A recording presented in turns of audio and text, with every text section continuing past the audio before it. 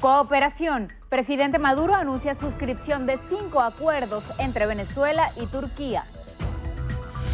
Comando Nacional Mesa de la Unidad anuncia acciones en defensa del voto. Respuesta. Canciller Arreaza califica de injerencista comunicado del Grupo de Lima. Respaldo. Partido Puente anuncia apoyo al candidato de la unidad en Falcón. Estabilidad para la República. Jorge Rodríguez asegura que elecciones regionales consolidarán la paz en el país. Nuevo fenómeno climatológico, tormenta tropical Nate, se dirige a la península de Yucatán. Empate vino tinto. Venezuela y Uruguay pactaron a cero goles en Pueblo Nuevo. Por la corona universal Miss Venezuela 2016, Casey Sayago está lista para representar a nuestro país.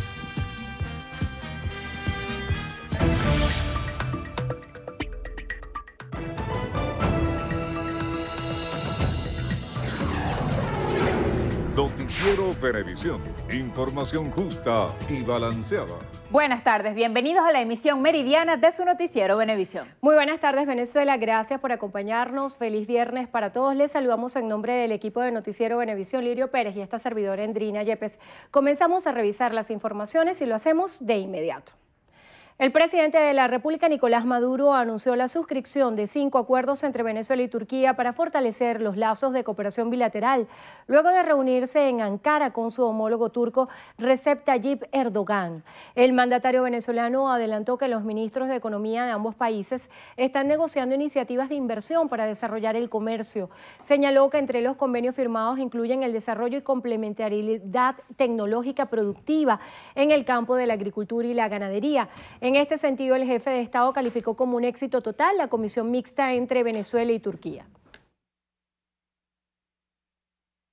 El acuerdo para el desarrollo de las comunicaciones aéreas, donde concedemos todo el apoyo legal y logístico para que el vuelo que une Estambul con Caracas, bueno, se desarrolle, se consolide y sea la punta de lanza de la cooperación en transporte aéreo. En segundo lugar, hemos firmado un acuerdo que es un plan del desarrollo turístico conjunto. Desarrollo turístico en un periodo que estamos fijando entre el año 2017-2019, dos años, para echar las bases de lo que se vislumbra grandes inversiones para el desarrollo turístico de nuestras dos regiones, nuestros dos países. Hemos firmado un documento de cooperación en materia de seguridad, de seguridad de nuestros países, para el combate contra el crimen transnacional y todas sus formas de expresión. Son cinco temas muy importantes que expresan lo que es la voluntad una voluntad de hierro por avanzar en una nueva era de las relaciones entre Turquía y Venezuela. En su visita al país euroasiático, el mandatario venezolano se reunió con autoridades de la Gran Asamblea Nacional de Turquía y presidió la Comisión Mixta Intergubernamental Venezuela-Turquía. Más temprano, el presidente Maduro recibió el título honorífico de Amistad Eterna de manos del rector de la Universidad de Ankara, Erkan Ibis. Como parte de sus actividades, también visitó el mausoleo de Mustafa Kemal Atatürk, fundador y primer presidente de la República de Turquía, a quien le colocó una ofrenda floral. Los cancilleres del llamado Grupo de Lima exhortaron a las autoridades venezolanas a velar por la transparencia e imparcialidad en las elecciones regionales. En un comunicado, los diplomáticos de los gobiernos de Argentina, Brasil, Canadá, Chile, Colombia, Costa Rica, Guatemala, Honduras, México, Panamá, Paraguay y Perú consideraron que los comicios del 15 de octubre deben realizarse en el marco de la Constitución y las leyes para los procesos electorales. El Grupo de Lima también pidió al CNE que garantice la libre participación de todos los candidatos y la presencia de observadores internacionales durante la jornada. El ministro de Relaciones Exteriores, Jorge Arriaza, calificó de injerencista y contradictorio el comunicado difundido por el llamado Grupo de Lima sobre las elecciones regionales en Venezuela. A través de Twitter, el canciller venezolano acusó a los diplomáticos de los 12 países de la región de subordinarse ante los intereses del gobierno de Estados Unidos. Arriaza considera que con esa misiva el Grupo de Lima reconoce las fortalezas de la democracia venezolana. A su juicio, el Grupo de Cancilleres quedará marcado en la historia de la diplomacia como subordinado a los imperiales. Irán Gaviria, presidente del partido Unión y Entendimiento, anunció el respaldo de su organización política al candidato de la gobernación del estado Falcón, Eliezer Sidit. Gaviria señaló que el candidato por la unidad representa al sector pesquero y agricultor de la entidad. Desde este símbolo de Venezuela y de Falcón, como son los médanos, Puente anuncia su respaldo decidido, irrestricto, firme a la candidatura de Eliezer Sirit a la gobernación de Falcón. Diputado a la Asamblea Nacional, parlamentario regional, alcalde, conocedor de su estado, particularmente del sector pesquero, del sector agrícola, del turismo, del sector petrolero, Eliezer Sirit es la carta de triunfo en Falcón para las fuerzas democráticas, para las fuerzas del cambio. Puente se suma a la candidatura unitaria de Eliezer Sirit y hará campaña decidida para su triunfo. Desde los menos de Coro, símbolo que identifica a nuestro Estado, recibimos el apoyo de Puente, partido de una gran valía nacional que hoy viene a sumar sus voluntades para que logremos la victoria el próximo 15 de octubre. La dirigencia del partido Puente aseguró que con el respaldo al candidato Eliezer Sirit buscan concretar un cambio político en el país en los venideros comicios regionales. Durante un recorrido en el estado Lara, Jorge Rodríguez, jefe de estrategia y propaganda del comando de campaña del PSUV, aseguró que las elecciones regionales que se llevarán a cabo este domingo 15 de octubre se convertirán en el complemento para consolidar la paz y la estabilidad de la República. Rodríguez expresó que los comicios de gobernadores complementarán las pasadas elecciones de la Asamblea Nacional Constituyente. Asimismo, denunció lo que considera una mala gestión de la gobernación del estado Lara, quien a su juicio ha incumplido con las promesas y compromisos elementales. Estuvo acompañado por la candidata a la gobernación del Estado Lara, Carmen Meléndez, la cual señaló su compromiso por atender las necesidades del pueblo larense. El Comando en Defensa del Voto de la Mesa de la Unidad Democrática rechazó la sentencia de la Sala Electoral que ratificó el plazo para la sustitución de candidatos. A esta hora hacemos un contacto con nuestro reportero Manuel Covela. Adelante Manuel, te escuchamos. Muy buenas tardes, Lirio. Efectivamente, el pronunciamiento de la mesa de la Unidad Democrática estuvo a cargo del diputado Tomás Bonipa, quien es el coordinador del Comité en Defensa por el voto de la alianza opositora. El plazo para las sustituciones de candidatos venció anoche a las 12 del mediodía y la sentencia de la sala electoral ratificó precisamente que este mm, procedimiento se puede hacer hasta 10 días antes de la elección.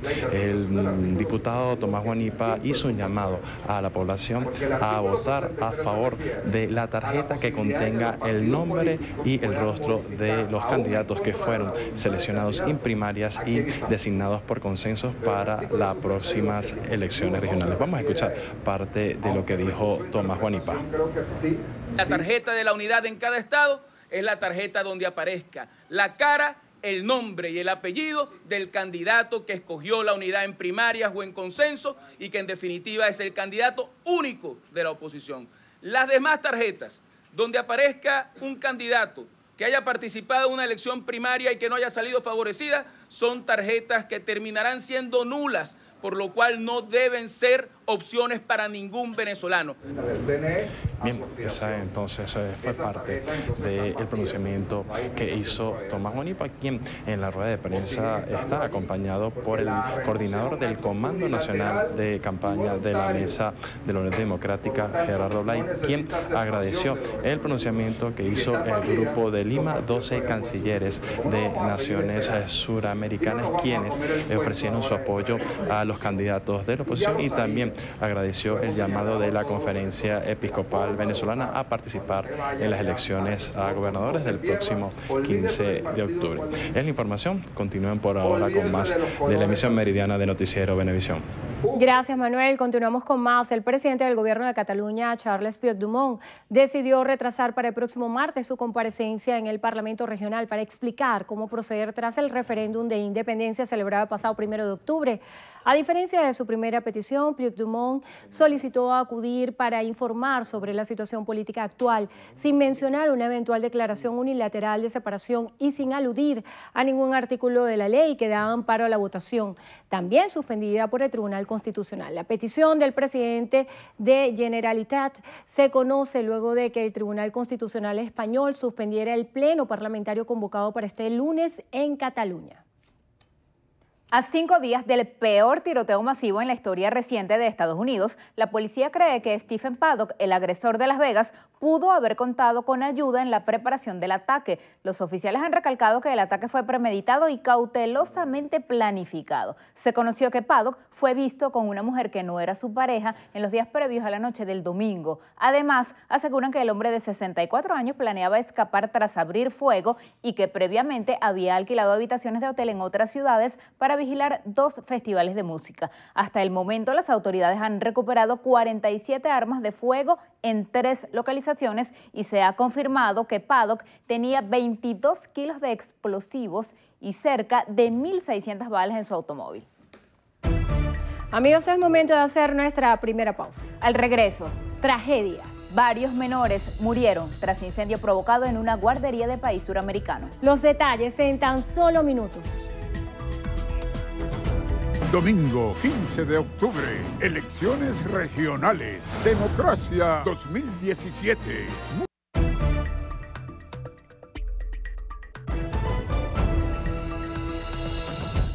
El gobernador del estado Vargas, Jorge Luis García Carneiro, aseguró que la entidad que dirige es la más segura del país. García Carneiro indicó que su prioridad en caso de quedar reelecto es apuntar directamente a fomentar el potencial turístico de la ciudad a través de la creación de infraestructuras, así como buscar ser un estado no dependiente de Caracas.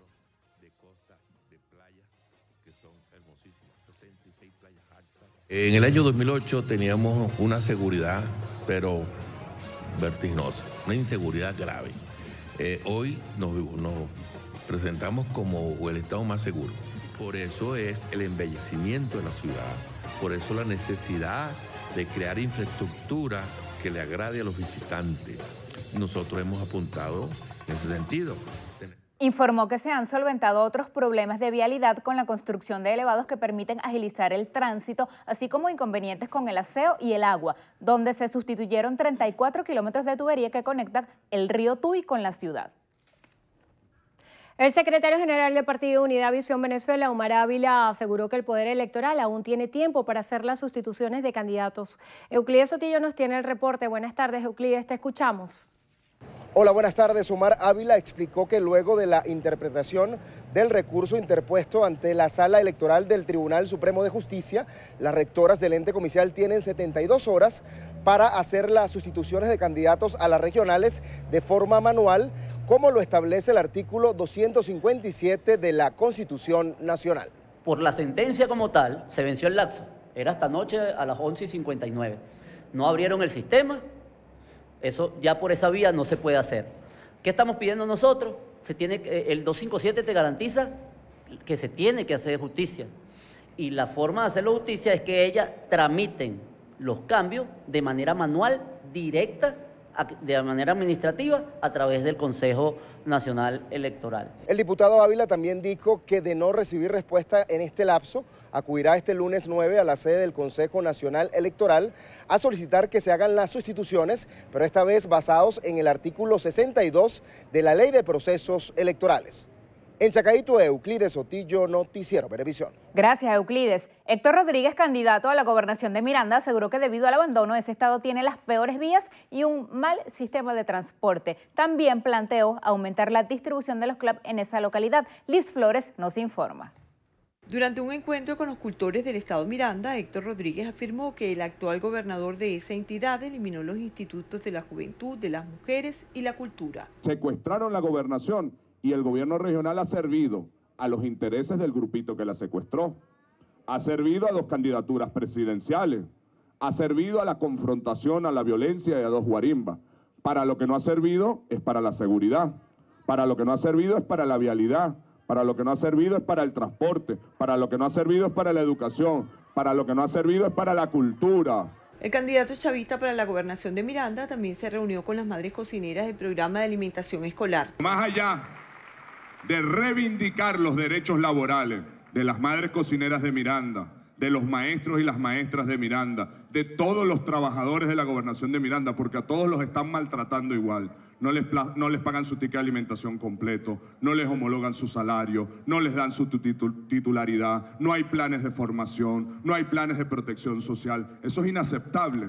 Además, porque la gobernación de Miranda es la segunda gobernación con más presupuesto del país han administrado 16 mil millones de dólares en ocho años. Héctor Rodríguez asegura que de ganar la gobernación de Miranda incrementará el programa de alimentación escolar, homologará los ingresos de las madres cocineras y reivindicará los sueldos tanto de los maestros como de los trabajadores. Además, tiene un plan para reiluminar las principales vías que según él están en la oscuridad. Desde Los Teques, Estado Miranda, y Noticiero Venevisión. Gracias, Liz. El también candidato a la gobernación de Miranda, Carlos Ocariz, aseguró que como parte de su plan de gobierno fortalecerán los planes educativos existentes en la entidad y la formación de los docentes. Ocariz resaltó la importancia de la alimentación escolar y afirmó que en Miranda miles de niños la reciben diariamente.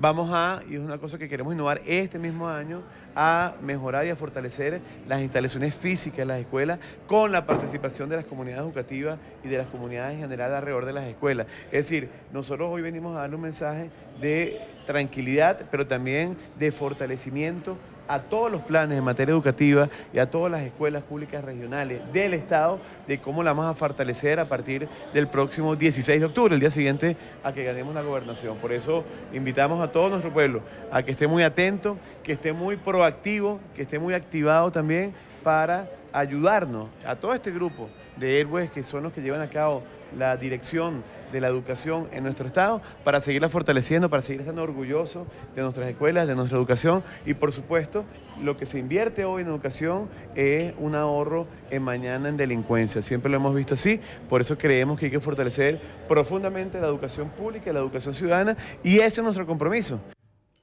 Estas declaraciones se las ofreció durante un encuentro con maestros del Estado Miranda.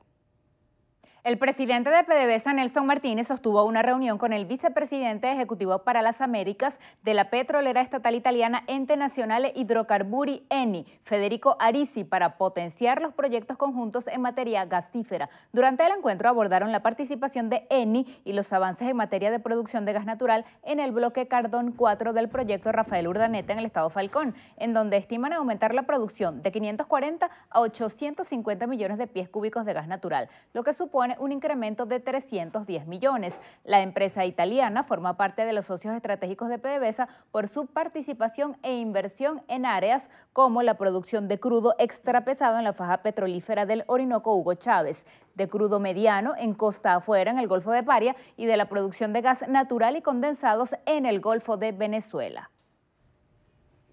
La inflación acumulada hasta el mes de septiembre en 2017 llegó a 536.2%, según el Índice Nacional de Precios al Consumidor de la Asamblea Nacional.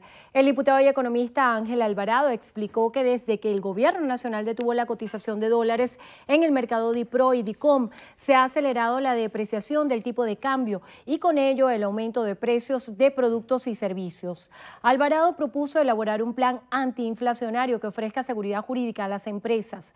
El parlamentario destacó que ese índice es un indicador estadístico que mide la variación de los precios en la canasta de bienes y servicios de la familia venezolana y aseguró que emplea la misma metodología que el Banco Central de Venezuela.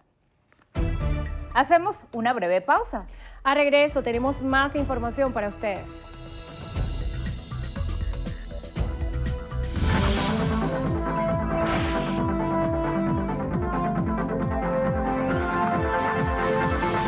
Paciente de 9 años de edad necesita con carácter de urgencia Embrel en ampollas de 50 miligramos, metotrexato en tabletas de 2.5 miligramos y prednisona de 5 miligramos. Quienes puedan colaborar, por favor comunicarse al 0426-340-1945. Las colaboraciones son gratuitas. No acepte realizar pago alguno.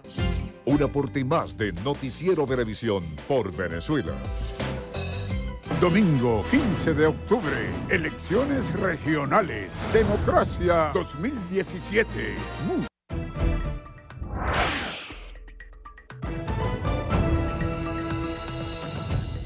Comenzamos a revisar información internacional en lo que pasa en el mundo. Tenemos que la tormenta tropical Nate se dirige este viernes a la península de Yucatán, en México, después de sus fuertes lluvias dejarán al menos 22 muertos en Centroamérica. Costa Rica ha sido el país más afectado, con 7.000 refugiados, 30 desaparecidos, inundaciones y daños a la infraestructura y agricultura. Está previsto que el fenómeno se fortalezca en los próximos días y que alcance la costa de Estados Unidos como huracán. En Brasil, cuatro niños murieron y otras 20 personas resultaron heridas en un incendio provocado en una guardería del estado de Minas Gerais. La situación se registró luego de que el vigilante del centro arrojara un líquido inflamable sobre sí mismo y los menores para posteriormente prender fuego. El sujeto presuntamente sufría de un trastorno mental y murió por las graves quemaduras. En Rusia, 19 personas murieron luego de que el autobús de pasajeros fuera arrollado por un tren cerca de Moscú. El hecho se produjo después de que el vehículo se detuviera cuando cruzaba una vía y mientras la mayoría de las personas dormían. Aunque el maquinista activó el freno de emergencia, la distancia fue insuficiente para evitar la coalición. El Consejo de Seguridad de la ONU aprobó de forma unánime una resolución que autoriza a la misión en Colombia monitorear y verificar el cese al fuego entre el gobierno y el ELN. El documento aprueba añadir hasta 70 observadores internacionales para vigilar el acuerdo que finaliza el próximo 9 de enero. De inmediato vamos a escuchar declaraciones del presidente de la República, Nicolás Maduro, en vivo y directo. De la renta petrolera se ha acabado. Yo le digo al pueblo venezolano que hemos iniciado una nueva era. Y el año 2017, lo dije desde el primero de enero, este año 2017 es el primer año de la nueva era post-petrolera de la economía venezolana.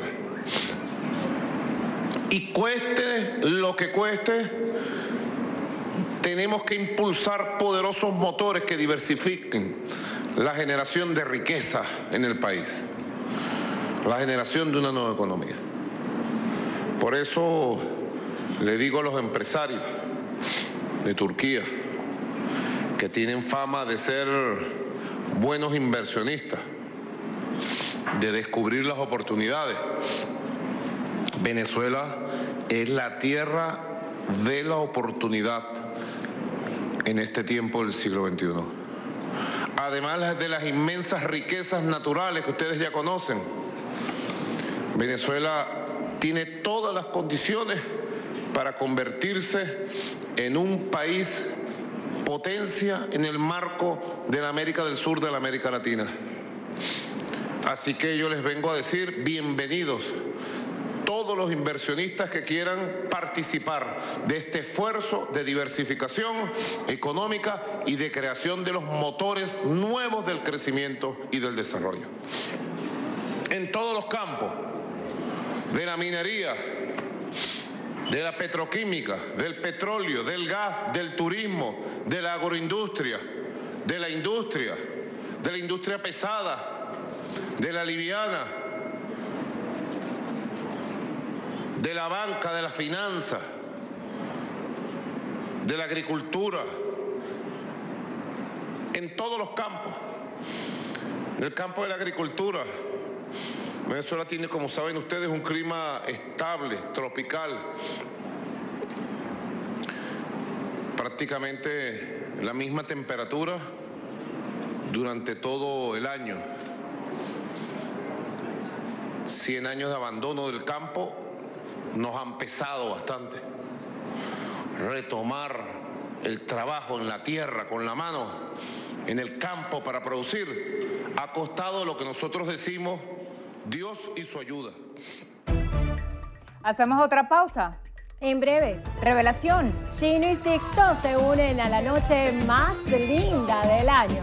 Los detalles con Carielis Cuadros.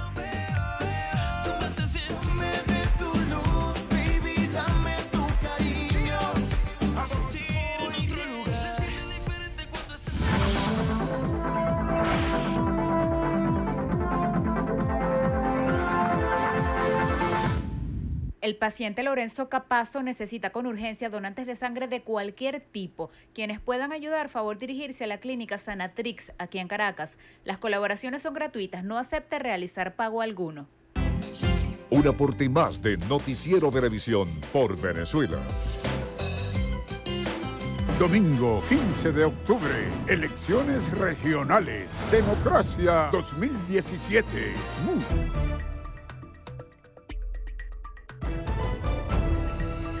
El cardenal George Pell, jefe de finanzas del Vaticano, comparecerá ante un tribunal australiano en marzo para determinar si existen pruebas para juzgarlo por presunta pederastia. El religioso acudió este viernes por segunda vez a la corte desde que fue acusado de abuso sexual a menores. Hasta el momento se desconocen los detalles sobre el número de casos en los que estaría implicado. Sin embargo, se cree que los supuestos delitos ocurrieron cuando era sacerdote en Bellar y era arzobispo de Melbourne.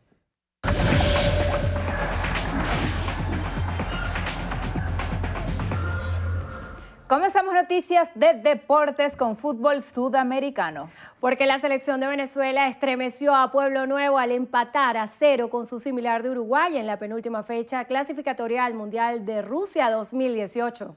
A través de la pantalla de Venevisión, toda Venezuela fue testigo del dominio vino tinto que generó innumerables servicios desde los costados y amenazó la portería de Fernando Muslera en múltiples ocasiones. Nuevamente el arco vinotinto permaneció inmaculado tras una impecable actuación de Wilker Fariñez. Los dirigidos por Rafa Dudamel sumaron su tercer empate consecutivo en el ciclo mundialista, con lo que mantienen viva la promesa de una nueva y mejorada generación vinotinto. En el Metropolitano de Barranquilla, Paraguay sorprendió a Colombia en los últimos minutos de juego para conseguir una victoria 2-1 que los acerca a la clasificación. Falcao había dado la ventaja a los cafetaleros, pero Tacuara, Cardoso y Antonio Sanabria se encargaron de revertir las acciones entre el minuto 88 y el agregado. Con el resultado, Colombia sigue cuarta con 26 puntos, mientras que Paraguay llega a 24 unidades. Suerte contraria la de la selección albiceleste que para sorpresa de todos permanece fuera del Mundial tras empatar a cero con Perú en la bombonera. Messi acechó en varias ocasiones el arco peruano pero no logró concretar y los de San Paoli quedaron en la sexta posición, incluso por debajo de Perú que aún apuesta por la repesca. Nos vamos al mejor béisbol del mundo en el Minute Maid Park, donde José Altuve despachó tres cuadrangulares que aseguraron la victoria de Houston sobre Boston, ocho carreras por dos en el primero de la serie divisional. Altuve voló la cerca en el primer quinto acto ante el abridor Chris Sale y repitió la fulminante dosis en el séptimo ante Austin Maddox para convertirse apenas en el noveno hombre en las grandes ligas en conectar tres estacazos en un encuentro de postemporada. Por su parte, Marwin González aportó un par de rayitas con un doble en cuatro turnos. Y en Venezuela todo está listo para que se escuche la voz de Play Ball. La temporada 2017-2018 que se jugará en honor a Rubén Mijares fue oficialmente presentada este jueves por el presidente de la Liga Venezolana de Béisbol Profesional, Juan eh, José Ávila, y los directivos de las ocho novenas que hacen vida en la pelota local. A pesar de que había muchos nubarrones, nosotros siempre dijimos que íbamos a jugar béisbol, que iba a haber temporada. Desde el mes de mayo hubo la convención en Barquisimeto, empezamos a echar las bases de lo que iba a ser la temporada, hacer su estructura, su calendario, su estructura, y ya estamos ya a, la, vuelta de la esquina. La próxima semana, el día 10, en cuatro parques estaremos inaugurando la temporada de béisbol profesional. Respecto a las jornadas correspondientes al fin de semana electoral, los directivos informaron que los juegos serán reprogramados a conveniencia de los equipos.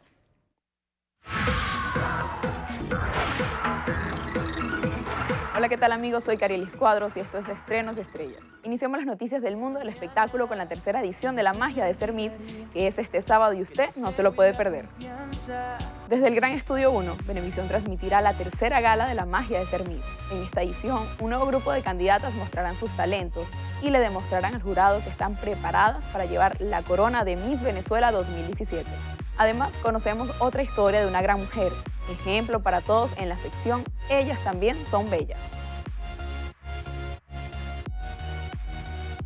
Seguimos con buenas noticias. Chino Miranda y Sixto Rey revelaron que formarán parte de la noche más linda del año, el Miss Venezuela 2017. Los venezolanos revelaron en exclusiva en el programa Portadas que serán parte de las atracciones musicales el próximo 9 de noviembre, durante la edición número 65 del Miss Venezuela. El concurso de belleza más importante del país es también el escenario por excelencia de grandes figuras nacionales, que luego han alcanzado su internacionalización, como es el caso de Chino Miranda y Sixto Rey.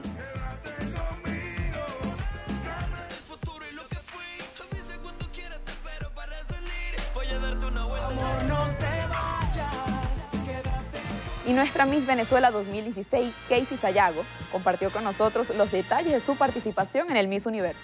La soberana de la belleza está lista para su próxima participación en el certamen universal que este año se realizará en Las Vegas. Casey Sayago, de la mano del zar de la belleza Osmel Sousa y la organización Miss Venezuela, se ha preparado arduamente para enaltecer el nombre de nuestro país. Hola queridos amigos, yo soy Casey Sayago Miss Venezuela Universo 2016 y bueno, estoy demasiado contenta, feliz hoy día de mi cumpleaños y mucho más feliz aún por anunciar que está todo listo para el Miss Universo. Ya solamente queda hacer maletas, dejar que, que pase un poquito el tiempo para pulir esos detalles, pero ya vamos listos con maleta en mano para el Miss Universo. Estoy muy contenta, he tenido muchas oportunidades grandísimas acá en el canal, animando más allá de la belleza, participando ahorita en portadas. De verdad que esto ha servido muchísimo para mi preparación y bueno, tranquilos que vamos con todo para decir Venezuela ante el universo. Los quiero muchísimo. Así llegamos al final. Soy Carilis Cuadros y los espero en una próxima emisión de Estrenos y Estrellas por su noticiero Venevisión. Gracias, Carielis. Nos toca hacer otra pausa. Así es, al regreso en la entrevista a Venevisión estaremos conversando con el constituyente Juan Carlos Alemán.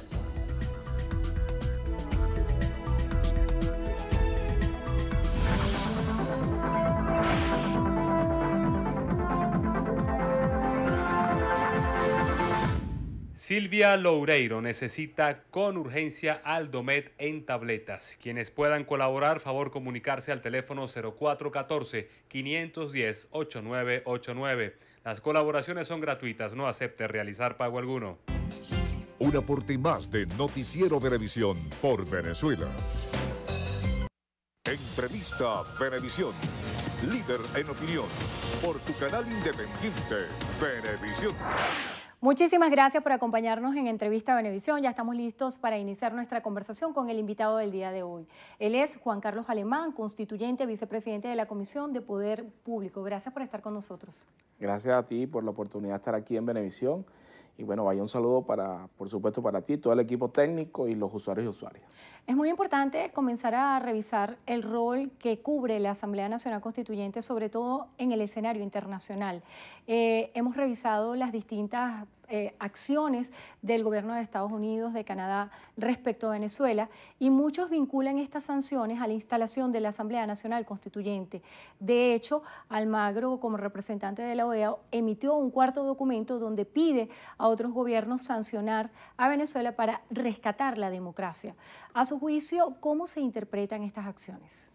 Bueno, una orden del imperio norteamericano. El presidente Donald Trump precisamente anunció eh, severas sanciones si se daba eh, la convocatoria a una Asamblea Nacional Constituyente. Asamblea Nacional Constituyente que está en el marco jurídico venezolano, que está contemplada en nuestra Constitución y eh, que fue muy amplia y muy abierta. Todos los sectores que quisieron participar lo pudieron hacer en igualdad de condiciones. Sin embargo, dada la política imperialista norteamericana, se da esa situación. Y bueno, debemos recordar que el señor Luis Almagro es simple y llanamente un actor que está al servicio de los intereses del imperialismo norteamericano. Nosotros, sin embargo, eh, estamos cumpliendo un mandato. Primero, es una convocatoria hecha a, través eh, del gobierno nacional eh, dentro de sus facultades 347, 348, 349.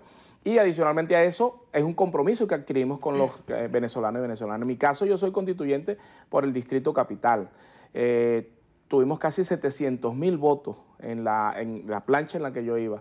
Eso es un gran compromiso para los caraqueños y las caraqueñas. Y más allá de eso, ahora como vicepresidente de comisión, es un compromiso para con el país porque significa adecuar el marco jurídico a los nuevos tiempos. Precisamente acerca de esos nuevos tiempos, la incorporación de Venezuela al conjunto de países que participan en estos vetos migratorios establecidos por Estados Unidos, que hasta ahora son ocho países, eh, muchos consideran que esto pudiera someter a todo el país en una situación de aislamiento. ¿Ese escenario se maneja o piensan afinar a través de relaciones diplomáticas y tratar de sanear las relaciones con Estados Unidos y otras naciones? Bueno, el presidente Nicolás Maduro, quien le corresponde llevar, dirigir la política internacional, ha sido muy diáfano en el mensaje que ha enviado al gobierno norteamericano y todos los actores internacionales que están en esta en esta acción de tratar de presionar al gobierno venezolano y a los actores de los distintos poderes venezolanos a los fines de que eh, doblemos en nuestra voluntad firme de seguir siendo libres, soberanos, independientes. Sin embargo, presidente eh, ha mandado eh, mensajes ayer, antier, nuestro canciller, en su discurso en la ONU ratificaba pues, el compromiso del gobierno venezolano de reunirse, bien sea con el presidente Donald Trump, bien sea con eh, la figura, el secretario del Departamento de Estado o quien ellos designen, eh, precisamente para que prive el interés supremo de los venezolanos. Nosotros debemos entender que cuando se fijan este tipo de sanciones, eh, lo, generan incomodidad a todo el pueblo venezolano y no es fácil entender cómo el gobierno norteamericano pudiera quedarse tranquilo cuando nosotros estamos tomando también acciones. Cuando nosotros, por ejemplo, decidimos eh, cotizar nuestro petróleo en una canasta de divisas, eh, le pega directamente a la economía del gobierno norteamericano en atención a que eh, estamos mandando un mensaje. Nosotros no somos los únicos que podemos, que podemos tomar esas acciones. Ya hay otros países, por ejemplo China, donde están cotizando sus su, eh, transacciones económicas en otra canasta, eh, Rusia lo está haciendo y hemos logrado pues el despertar de un movimiento antiimperialista, antiinjerencista en las, en, las relaciones de los países. Yo creo que eso le molesta al imperialismo norteamericano y por eso tratan de eh, acrecentar un poco esas acciones. Sin embargo, yo creo que en esta relación termina perdiendo el gobierno norteamericano, porque uno se puede preguntar qué pasaría si en un momento determinado el gobierno venezolano eh, no sigue enviando petróleo a los Estados Unidos. ¿Quién terminaría perdiendo? En esa, en esa, medición a pulso entre Estados Unidos y Venezuela, usted dice que ganaría Venezuela, pero muchos se preguntan eh, eh, desde la perspectiva económica, cuando aún no tenemos un modelo productivo autosustentable, ¿qué pasará con los alimentos y los procesos de importaciones cuando se depende mucho de la economía de Estados Unidos? Bueno, fíjate, yo no, no es que diga quién gana o quién pierde yo creo que en este tipo de situaciones perdemos ambos. Pierde por un, lado el, gobierno, el, el, pueblo norteamericano, no el gobierno, porque hay muchas empresas norteamericanas que tienen negocios acá y por otro lado, por supuesto, que eh, sufren las penurias el pueblo venezolano producto de esas sanciones que están, que, están aplicando. Sin embargo, en el libre juego de, esas acciones que eh, se reserva el gobierno venezolano, tampoco nosotros nos podemos quedar cruzados de brazos ante acciones eh, que van dañando directamente las relaciones. Hemos sido, por eso reitero, hemos sido de parte del gobierno del, presidente Maduro muy mesurado a pedirle, bueno, vamos a conversar, vamos a ver cuál cuál la, cuáles son los planteamientos que hay, vamos a reunir los cancilleres, si hay que reunir a los presidentes, vamos a reunirnos de presidente a presidente. Sin embargo, ha sido un diálogo, eh, prácticamente un monólogo, porque el gobierno norteamericano lo que ha respondido es con sanciones. Sin embargo, nosotros no nos hemos quedado cruzados de brazos porque precisamente buscamos el bienestar supremo de los venezolanos y las venezolanas. Y en esa búsqueda hemos acudido a otros mercados y a otros espacios donde tranquilamente eh, se pueden conseguir inclusive eh, condiciones favorables para nuestro gobierno para y en consecuencia para el pueblo venezolano. Cuando acudimos, por ejemplo, al ALBA, a los países que integran el ALBA para la relación y desarrollo de, nuestras relaciones económicas internacionales, es precisamente eh, acudiendo a, ese pensamiento eh, muy parecido al nuestro, que lo que ratifica es el antiimperialismo. O sea, nosotros lo que no queremos, queremos que haya respeto. Y adicionalmente que queremos que haya ese respeto, queremos que, eh, que, nuestras relaciones, las relaciones de los venezolanos, las decidamos nosotros. Vamos a un proceso electoral. Ese proceso electoral, ahí están, ¿quiénes están inscritos en ese proceso electoral? Precisamente lo que hasta ayer decían que no había democracia en Venezuela, lo que hasta ayer decían que el sistema electoral era fraudulento. Esos que no reconocieron el sistema electoral ayer, hoy son candidatos a, las elecciones en los distintos estados. ¿Qué va a hacer el gobierno norteamericano? Yo, te, yo, yo pregunto, si en un caso negado, que estoy seguro que no va a ser así, si la oposición llegase a tener la mayoría de, los, de, la, de, la, de la, a salir favorecida con la mayoría de las candidaturas en los estados, ¿qué va a hacer el, estado, el gobierno norteamericano? ¿Las va a reconocer? Entonces reconoces una y, no reconoces otra. Entonces nosotros lo que queremos es que haya reglas de juego claras y por supuesto una relación de respeto. Acerca de ese reconocimiento, viene a la memoria otros procesos electorales donde se ha planteado la idea de la firma de un documento de reconocimiento de resultados. ¿Cree usted que es necesario en este momento, cuando hay fases exploratorias de diálogo que hasta ahora ha sido infructuosa, que exista una conciliación para el reconocimiento de esos resultados electorales? Bueno, mira, de la derecha venezolana se puede esperar cualquier cosa. Así como nosotros todavía estamos esperando que el señor Ramos Alú, eh, quien dijo que tenía las pruebas de fraude en las elecciones del año 2006, las presente y le mintió al país una vez más y cada vez salen con, cosas distintas en cada proceso, nosotros no estamos esperando de ellos más allá eh, que el reconocimiento a la voluntad del pueblo. Nosotros perdimos las elecciones en el año 2015. La Asamblea Nacional fue favorecida, o mejor dicho, salió favorecida con el voto del pueblo en el 2015.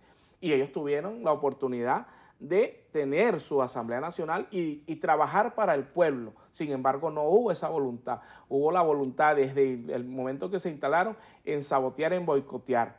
Y posteriormente a eso, el presidente Nicolás Maduro en más de una oportunidad envió mensajes a ese, al Poder Legislativo y le dijo, bueno, hay que sentarse a conversar en pro del país y nunca lo hicieron. Siempre le dieron una patada a la mesa. Nosotros seguimos creyendo en el diálogo, pero por supuesto, vamos a un proceso electoral y en ese proceso electoral nosotros lo que sí decimos es que reconocemos la voluntad del pueblo. Si, si la mayoría del pueblo venezolano vota por los candidatos de la revolución bolivariana, tendremos nosotros la mayoría de los gobernadores. Si votan por, la, por los candidatos de la oposición, lo reconoceremos como siempre lo ha hecho un presidente demócrata como es Nicolás Maduro. El presidente Nicolás Maduro ha dicho que, que las nuevas autoridades electas en estas elecciones regionales deben juramentarse ante la Asamblea Nacional Constituyente. ¿Esto no constituye un acto de coacción? No, para nada. Fíjate, eh, la constitución es clara. Hay un poder que emerge del eh, poder originario, que es la Asamblea Nacional Constituyente. Y así como todos los poderes eh, acudieron precisamente a subordinarse a la Asamblea Nacional Constituyente, no podemos nosotros ahora permitir que las autoridades que vayan a ser electas mm, incurran en, el desacato a ese poder constituido. Debe haber el equilibrio y ese equilibrio se constituye precisamente en el reconocimiento. Y ese reconocimiento y subordinación es porque así lo mandata la Constitución, no es un invento del presidente Nicolás Maduro. Además, la Asamblea Nacional Constituyente tampoco que se, constituye en un tribunal inquisidor. Eh, simple y llanamente lo que sí nosotros queremos es que haya el equilibrio de respeto. Por ejemplo, yo te, te planteo, el, Consejo, el, Consejo, Nacional Electoral, los cinco rectores estuvieron en la Asamblea Nacional, eh, en la Asamblea Nacional Constituyente. Fueron cuatro. Un quinto manifestó su, su subordinación al poder constituyente porque sabe, porque reconoce que es el poder originario y lo hizo por escrito. Y así mismo sucedió con los magistrados del Tribunal Supremo de Justicia. Entonces, lo que, lo que se está planteando en este momento es que no se vaya a constituir en las gobernaciones donde la derecha seguramente vaya a obtener la voluntad del pueblo unos espacios para la división, para la fractura, para la secesión del territorio o para la conspiración los gobernadores que sean electos y electas deben, ser eh, deben dedicarse a gobernar para resolver los problemas de, de sus ciudadanos. Y eso es lo que quiere la gente. La gente no quiere un gobernador, así como no quería una Asamblea Nacional para ir a torpedear el Ejecutivo Nacional o para ir a un enfrentamiento permanente, porque eso no beneficia en nada. ¿Hay garantías desde el punto de vista legal de que no va a haber modificaciones en las leyes en cuanto a las competencias que adquieran los gobernadores que asuman luego de estas elecciones regionales? Porque muchos dicen que eh, la estrategia política que pudiera tomar el Ejecutivo es a través de la Asamblea Nacional Constituyente modificar para que los gobernadores sean subordinados al Consejo Legislativo. Esto lo decía en Ramos Ayub. Bueno, ya hablamos de ese personaje, de ese señor se puede esperar cualquier cosa. Eh, sin embargo, nosotros eh, lo que sí planteamos es que la Asamblea Nacional Constituyente tiene un rol. Le elaborar una constitución y posteriormente a la elaboración de esa constitución y las normas que en ella se pauten, eh, debe, será el pueblo venezolano en, en el ejercicio soberano del voto quien decidirá si está de acuerdo con esa constitución o no. Y será el pueblo venezolano quien diga si está eh, conteste con ese texto constitucional. Así que nosotros, simplemente, esos son bufonadas del señor Henry Ramos Alú, a quien no le prestamos mayor atención, eh, yo lo que, aunque hay que reconocerle que como estratega político, bueno, eh, le dio un vuelco total a todos sus adversarios, porque lograr la acción democrática creo que se constituyó ahora en la primera fuerza electoral de la oposición. Sin embargo, nosotros igualito los vamos a derrotar, siempre respetando la voluntad del pueblo. Juan Carlos Alemán, constituyente, vicepresidente de la Comisión del Poder Público. Gracias por estar con nosotros en Entrevista Benevisión. Y gracias a ustedes también por habernos acompañado. Muchísimas gracias. Gracias a ti, Andrina. Así llegamos al final de la semana y de esta emisión. Recuerden, Noticiero Venevisión Canal 4 Reporta. Ustedes deciden, será hasta el lunes.